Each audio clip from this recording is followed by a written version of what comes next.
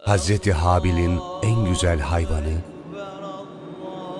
Hazreti İbrahim'in gözünün nuru İsmail'ini Rabbine sunduğu gibi Müslümanlar için kurban kesmek en kıymetlilerinden Rableri için vazgeçmeyi temsil eder. İsmail Ağa olarak bizler kurbanın yüce dinimizdeki yerinin ve sosyal hayatımız için taşıdığı büyük anlamın bilincindeyiz. Her yıl siz değerli kardeşlerimizin bağışladığı kurbanları İslami usullere uygun şekilde keserek ihtiyaç sahiplerine ulaştırıyoruz.